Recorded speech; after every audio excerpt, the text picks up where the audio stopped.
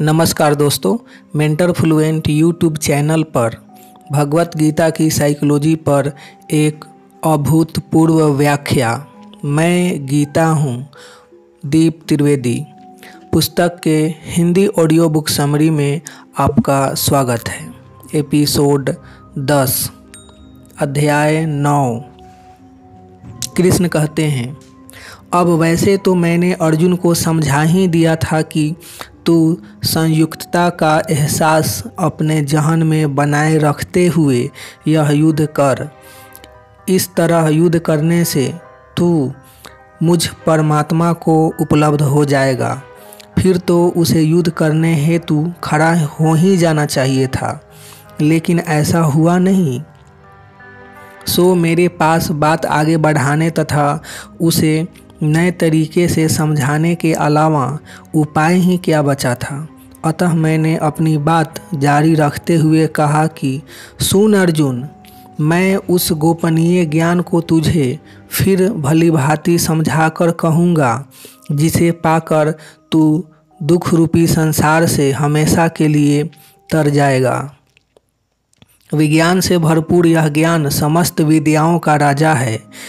इस ज्ञान को विज्ञान कहते ही इसलिए हैं कि यह नियमबद्ध है और इसलिए इसके पालन के अलावा मनुष्य के पास अन्य कोई विकल्प ही नहीं है। यह न सिर्फ़ अपने में बड़ा ही आसान है, बल्कि साथ ही यह हाथों हाथ फल देने वाला भी है। इस पर अमल करते ही मनुष्य का दुख रूपी संसार से तत्क्षण उद्धार हो जाता है। क्योंकि सत्य में ऐसा नहीं है कि कर्म आज करो, वह फल कल मिले। कल फल, कल के फल की बात अधर्म की दुनिया में करी जाती है। कोरे आश्रय आश्वासनों को कल की आवश्यकता है, सत्य को नहीं। अतः तू इस महान ज्ञान को समझकर तत्क्षण अपने तमाम वर्तमान कष्टों से मुक्त हो जा। हे अर्जुन, एक मुझ पर निराकार। हे अर्जुन, एक मुझ निराकार परमात्मा से। यह संपूर्ण जगत चारों ओर एक संकल्प के आधार पर फैला हुआ है। और मेरी ए, मेरी ऐसी तो लीला है कि चारों ओर छाए होने के बावजूद न तो कुछ मेरे में स्थित है और ना मैं किसी में स्थित हूँ। यही कारण है कि युगों से मनुष्य मेरे बाबत भ्रमित है। कभी वह सोचता है कि मैं कहीं दूर हूँ तो कभी सोचता है कि मैं भीतर हूँ। लेकिन वह यह नहीं समझ पाता कि मैं सब ओर होते हुए भी कहीं नहीं हूँ। इसलिए मुझे पाने या खोने की बात करना ही बेईमानी है, क्योंकि मैं हर वक्त, हर जगह पर हूँ भी और नहीं भी। बस मेरी इस रहस्यमय लीला का अनुभव करना ही एकमात्र सच्चा ज्ञान है। तू ऐसा समझ कि एक साथ दो जगत अस्तित्व में हैं और यह दोनों जगत पूर्णतः भिन्न हैं। एक वह जगत है जिसे बार बार मैं अपनी योग माया से रचता हूँ और फिर बार बार उस जगत को मैं अपने में लीन भी कर लेता हूँ। वहीं दूसरी ओर एक मेरा जगत है, जिसकी न उत्पत्ति है और न जिसका विनाश ही है। इसी बाबत इसी बात को मनुष्यों के संदर्भ में कहूँ तो ऐसा समझ कि मनुष्य के जीवन में दो तरह के विस्तार हैं। एक मैं के बल पर किया गया विस्तार तथा एक परमात्मा की संयुक्ता के भाव से किया गया विस्तार। और जिस मनुष्य के जीवन में जितना मैं, मेरे या मेरा का विस्तार है उसके उसके इस तरह के किसी भी विस्तार में मैं, यानी परमात्मा नहीं हूँ। उसने अपना वह विस्तार मेरा धर्म या मेरा ईश्वर के नाम पर ही क्यों न किया हो, परंतु उसमें भी मैं नहीं ही हूँ। यहाँ एक बात और समझ ले अर्जुन, कि मनुष्य में मैं के इर्द गिर्द घूम रहे इन सारे कर्मों के आधार पर मैं परमात्मा उन्हें बार बार रचता हूँ। वहीं एक दूसरे प्रकार के मनुष्य भी होते हैं, जो तमाम प्रकार की आसक्ति से मुक्त हो चुके होते हैं। उनके पूरे जगत का विस्तार अकारण होता है। उनके ऐसे किसी भी विस्तार में मैं का भाव नदारद होता है। और यही कारण है कि उनके ऐसे हर विस्तार में मैं परमात्मा हमेशा उपस्थित रहता हूँ। अतः तू यूँ समझ कि दो तरह के मनुष्य संसार में हैं। एक वे जिनके किसी विस्तार में मैं नहीं हूँ और दूसरे वे जिनके हर कर्म तथा हर विस्तार में मैं हूँ। सो सवाल सिर्फ़ मेरे होने या नहीं होने का ही है। यदि मैं नहीं हूँ तो मैं उस मनुष्य के धर्म ध्यान व पूजा पाठ में भी नहीं हूँ। और मैं हूँ तो फिर उस मनुष्य के छल कपट करने से लेकर युद्ध करने तक में भी हूँ। यानी मेरा होना और नहीं होना दोनों एक साथ नहीं हो सकता है। सो so, सो सवाल तेरे युद्ध करने या युद्ध से भागने का नहीं है, बल्कि सवाल तेरे कर्मों में मेरे होने या न होने का है। अतः तू तेरे हर कर्म में मुझे शामिल कर ले तो तेरे लिए युद्ध में भी चारों ओर परमात्मा ही परमात्मा रह जाएगा। और नहीं तो युद्ध, और नहीं तो तू युद्ध करे या भागे उसमें मेरा कहीं नामो निशान नहीं होगा। तू युद्ध करेगा तो कर्मों से बंधेगा, परमात्मा युद्ध करेगा तो कर्मों से नहीं बंधेगा। अतः इतना समझ कि यह दोनों दुनिया ही अलग है, एक अहंकार की तथा एक परमात्मा की। और अहंकार की दुनिया से कहे गए शास्त्रों में भी परमात्मा का नामो निशान नहीं है। जबकि मेरी दुनिया से किया गया कोई भी कर्म सिवाय परमात्मा के और कुछ नहीं है। यहाँ इतना और समझ ले अर्जुन कि मनुष्य के लिए यह दोनों उसकी मनोदशा है। मनुष्य की इस मनोदशा में परमात्मा व अहंकार एक साथ नहीं रह सकते। अतः तू अपना मैं रूपी अहंकार अपने भीतर के परमात्मा को समर्पित कर दे। इससे तेरे सारे वर्तमान भ्रम तत्क्षण मिट जाएँगे। अर्जुन, मनुष्य के भीतर स्थित मेरे इस परमात्मीय परम परम भाव को न जानने वाले मूर्ख मनुष्य मुझे शरीर धारण करने वाला साधारण मनुष्य समझते हैं। वे यह समझते ही नहीं कि इस परम भाव को प्राप्त हुआ मैं सिर्फ़ संसार के उद्धार हेतु मनुष्य रूप में विचरित हूँ या विचरता हूँ। मुझ परमात्मा का अपने नाम, शरीर या कर्मों से कुछ भी लेना देना नहीं है। सो तू मुझे मेरे नाम या शरीर में मत खोज। तू मेरे परम भाव पर दृष्टि घुमा। तू अपने भीतर स्थित परमात्मीय परम भाव को जगाकर मुझे पहचान। क्योंकि हे अर्जुन, जो इस महान ईश्वर को शरीरधारी समझते हैं, वे राक्षसी और मोहिनी प्रकृति को ही धारण किए रहते हैं। और इस कारण वे इस शरीर रूपी ईश्वर से हज़ारों व्यर्थ की आशा करते हैं। और अधिकांश शास्त्र ऐसी ही व्यर्थ की आशाएँ जगाने वाले हैं। फिर उन व्यर्थ के ज्ञान से भरे शास्त्रों के मोह जाल से उभरी आशाओं की पूर्ति के लिए वे मनुष्य हज़ारों व्यर्थ के कर्म करते हैं और इसी में उनका जीवन पूरा हो जाता है। लेकिन कोई सच्चा ज्ञान ना तो कभी झूठी आशाएँ जगाता है और ना ही मनुष्यों को व्यर्थ के कर्मों में लगाता है।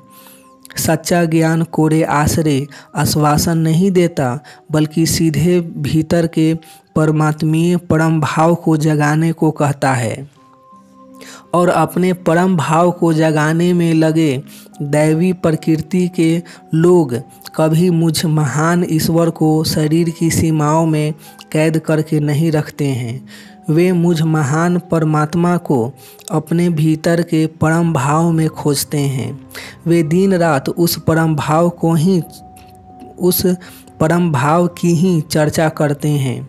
उसका ही कीर्तन करते हैं और उसे बार बार प्रणाम कर उसकी अनन्य प्रेम से उपासना करते हैं। वहीं दैवी प्रकृति के कुछ अन्य लोग मुझ परमात्मा को विराट स्वरूप मानते हैं। वे चारों ओर मैं, परमेश्वर ही मौजूद हूँ, ऐसा मानते हैं, और ये दोनों सही हैं। क्योंकि जिसके भीतर परमात्मा है, उसके लिए चारों ओर भी परमात्मा ही है। यह तो उस, यह तो जिसके भीतर अहंकार है, उसे ही चारों ओर भेद नज़र आते हैं। अतः तू दैवी प्रकृति से मुझ परमेश्वर की उपासना कर, या तू मुझे अपने भीतर का परम भाव जान ले, या फिर तू इस युद्ध सहित सब में वही मौजूद है, ऐसा मान ले। परंतु परमात्मा को मुझमें या दूसरों के शरीर में देखने या खोजने वाली असुरी प्रवृत्ति को त्याग दे। उसी के कारण तू स्वर्ग, नरक तथा पाप पुण्य जैसी हज़ारों व्यर्थ की आशाएँ पाल रहा है और फिर उनकी पूर्ति हेतु युद्ध से भागने का, व्यर्थ का कर्म करने की जिद कर रहा है।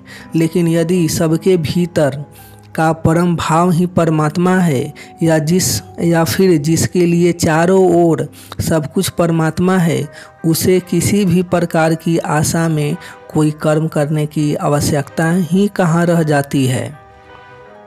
अर्जुन, ऐसा समझ कि दैवी प्रकृति में भी दो प्रकार के मनुष्य होते हैं, एक अंतर्मुखी तथा दूसरे बहिर्मुखी।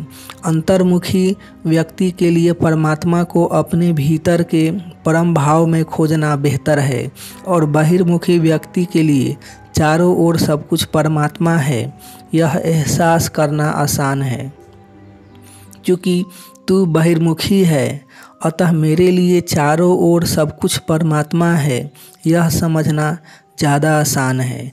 और जब सब कुछ परमात्मा है तो सब कुछ परमात्मा है। फिर एक जगह या एक मूर्ति में है, वह दूसरे में नहीं, ऐसा नहीं। ऐसा नहीं चलता। फिर मेरे यज्ञ में है तथा तेरे यज्ञ में नहीं, ऐसा भी नहीं मान सकते। फिर एक वस्तु में है तथा एक में नहीं। यह कहना ही गलत हो जाता है। और तू इस समय यही कोशिश कर रहा है। तू मान रहा है कि संन्यास में परमात्मा है तथा युद्ध में नहीं है। यह नहीं ना। अर्जुन, ऐसा नहीं है। मैं परमात्मा हर यज्ञ की तमाम क्रियाओं व सामग्री में मौजूद हूँ। मैं तमाम वेदों में मौजूद हूँ। इस संपूर्ण जगत का धारण पोषण करने वाला भी मैं ही हूँ तथा उनका माता पिता व पितामह भी मैं ही हूँ। परंतु किसी भी प्रकार की कामनाओं तथा उसकी पूर्ति के प्रयासों में भी मैं मैं नहीं हूँ। जो कामना से प्रेरित होकर यज्ञ वगैरह करते हैं, फिर चाहे वह कामना स्वर्ग की ही क्यों न हो, वे मुझे न प्राप्त होकर अब, वे मुझे न प्राप्त होकर अवागमन को प्राप्त होते हैं, क्योंकि वे ईश्वर को पूरा का पूरा पाने की जगह उसे टुकड़े टुकड़े में चाहते हैं। तू भी यही कर रहा है। चारों ओर व्याप्त परमात्मा को पाने की, चाह करने की बजाय उसे टुकड़े टुकड़े में चाह रहा है। तू स्वर्ग भी चाह रहा है तथा राज्य भी। तू जान माल की खैर भी चाह रहा है तथा पुण्य भी। परंतु अर्जुन, तू इतना समझ कि ऐसा आधा अधूरा चाहने से तू मुझ परमात्मा को प्राप्त नहीं होगा, बल्कि आवागमन को प्राप्त होगा। बार बार इस मृत्यु लोक में आएगा। अतः बहिर्मुखी व्यक्ति को भी मुझ परमात्मा को बिना किसी भेद के पूरा का पूरा चाहना पड़ेगा और जो पूरा चाहते हैं, वे कभी किसी वस्तु, व्यक्ति या कर्म से इनकार नहीं करते। क्योंकि जब सब कुछ परमात्मा है तो इनकार करे किससे? अतः तू भी युद्ध को परमात्मा की एक लीला मानकर उसे गले से लगा ले। अर्जुन, यदि किसी कारण तुझे ऐसा लगता है कि तू अंतर्मुखी है तथा तेरे लिए अंतर तेरे लिए परमात्मा को चारों ओर की बजाय भीतर खोजना आसान है तो वह मार्ग भी मुझसे सुन।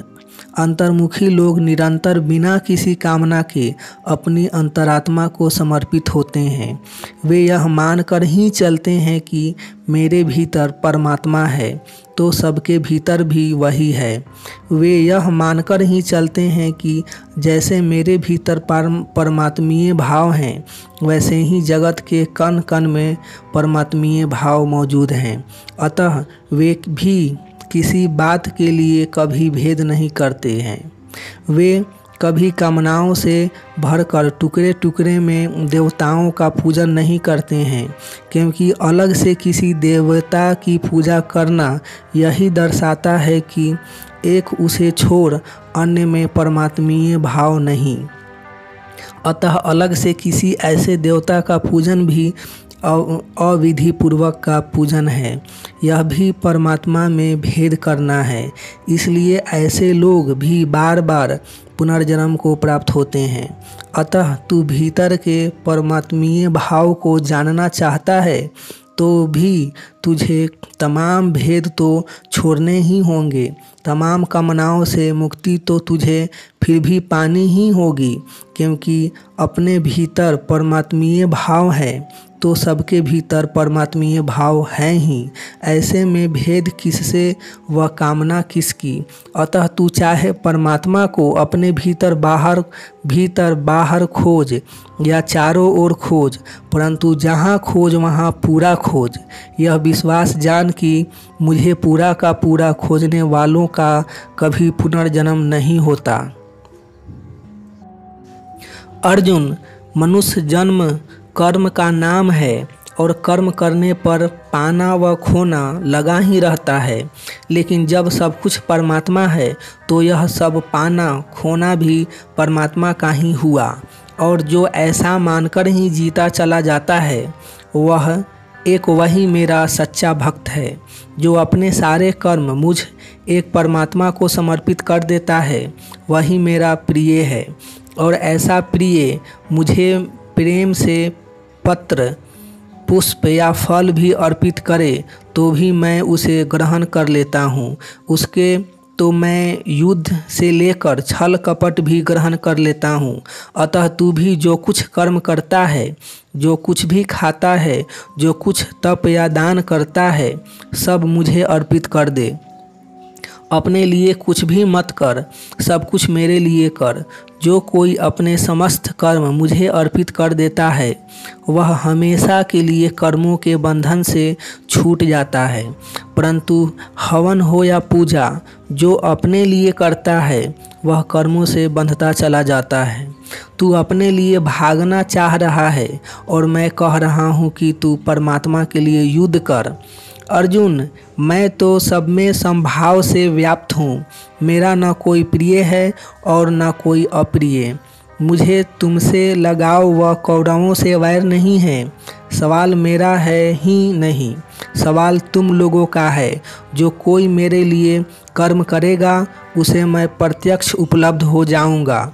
अतः तेरे हित में, तेरे हित में है कि तू मेरे लिए कर्म कर। इससे मैं तुझे उपलब्ध हो जाऊँगा और एक बार जिसे मैं उपलब्ध हो गया, उसे फिर अन्य कोई चिंता करने की ज़रूरत ही नहीं। अर्जुन, तू समझ क्यों नहीं रहा है? तेरे रथ के सारथी होने से मैं तेरे साथ नहीं हो जाऊँगा। तू अपने तमाम कर्म मुझे समर्पित करेगा तो मैं साथ होऊँगा। लेकिन दुर्भाग्य से तू मेरे साथ का महत्व ही नहीं समझ पा रहा है। तू क्या बड़े बड़े ज्ञानी इसका महत्व नहीं समझ रहे हैं? वरना यहाँ हर कोई सारे कर्म मुझे समर्पित कर चैन की वंशी न बजा रहा होता। परंतु तू ऐसा कर। तू यह युद्ध रूपी कर्म मुझे समर्पित कर दे। मैं ही प्राप्त करने योग्य परम धाम हूँ। मैं ही सबका स्वामी हूँ। मैं ही उत्पत्ति तथा प्रलय का परम कारण हूँ। सूर्य रूप से तपता भी मैं ही हूँ, व वर्षा रूप से बरसता भी मैं ही हूँ। अर्जुन, मुझे कर्म समर्पित कर देना तो वह जादू है कि इससे तमाम पुराने कर्म भी क्षण भर में भस्म हो जाते हैं। दुराचारी से दुराचारी भी यदि एक बार मुझे कर्म समर्पित कर देता है तो वह तत्क्षण धर्मात्मा हो जाता है। एक बार निश्चयपूर्वक कर्म मुझे समर्पित कर देने पर तमाम पुराने पापों से मनुष्य का तुरंत छुटकारा हो जाता है। सो मेरी बातें सुनकर यदि तू ऐसा सोच रहा है कि मैं इतने समय से फलों की लालसा में कर्म किए जा रहा हूँ, आज कुछ बदल भी दिया तो क्या होगा? तो मेरा विश्वास जान ले कि उससे सब कुछ तत्क्षण बदल जाएगा। तू यदि इस समय यह युद्ध रूपी कर्म मुझे समर्पित कर देगा तो तेरे सारे पुराने कर्म भस्म हो जाएँगे, तथा तत्क्षण तू मुझे प्राप्त हो जाएगा। अतः मुझ, अतः तुझे या किसी को भी कल या किसी, कल क्या किया था, यह सोचने की ज़रूरत ही नहीं है। बीत गई, सो बात गई। महत्व इस पल का है। महत्व इस पल किए जा रहे कर्म का है। एक बार वह मुझे समर्पित कर दिया कि व्यक्ति हाथों हाथ धर्मात्मा हो गया। यह बीते कल की तथा आने वाले कल की बातें तो स्वार्थी व अज्ञानी लोग करते हैं। निस्वार्थ भाव से परमात्मा के ध्यान में लगे ज्ञानी लोग तो इस पल की बात करते हैं और इस पल तेरे सामने टाला न जा सके, ऐसा युद्ध मुँह फाड़े खड़ा है, और उस युद्ध को तू परमात्मा के लिए कल कर ले। बस तमाम कर्मों से हाथों हाथ तू मुक्त हो जाएगा। सत्य की राह में तथा परमात्मा के मार्ग में कभी देर नहीं होती। वहाँ तो जब जागो तब सवेरा हो जाता है। हे अर्जुन, कर्म का परमात्मा को यह समर्पण एक जादू है। इसमें धर्मात्मा और पापी का कोई भेद नहीं। इसमें कर्मों का भी भेद नहीं। दान का समर्पण स्वीकार है तथा युद्ध का नहीं, ऐसा भी नहीं है। कर्मों में के इस समर्पण में, जात या लिंग का भी भेद नहीं है। ऐसा नहीं है कि पुरुष के कर्म स्वीकार हैं तथा स्त्री के नहीं। धर्मात्मा के स्वीकार हैं तथा पाप तथा पाप योनि चंडाल के नहीं। मैं धर्मात्मा, मैं परमात्मा को सदैव सबके लिए संभाव में ही स्थित रहता हूँ। यह सारे भ्रम, अज्ञान से भरे शास्त्र फैलाते हैं। अतः तू यह मत मान कि तू संन्यास लेकर हवन करेगा तो ही तेरा वह कर्म मैं स्वयं, मैं स्वीकारूँगा। नहीं, तू क्षत्रिय बनकर मेरे लिए युद्ध भी करेगा तो भी मैं उसे उतने ही प्रेम से स्वीकारूँगा। अतः हे अर्जुन, तू चाहे तो तुझ, तू चाहे तो मुझ परमात्मा को अपनी अंतरात्मा में खोज, और चाहे तो उसे चारों ओर व्याप्त मेरे विराट स्वरूप में खोज। परंतु खोज तू हर हाल में मुझमें मन वाला हो। मुझमें मन वाला हो। मेरा भक्त बन, मेरा पूजन कर और मुझे प्रणाम कर। मुझे चाहे जिस तरीके से हो, पूरा का पूरा स्वीकार कर।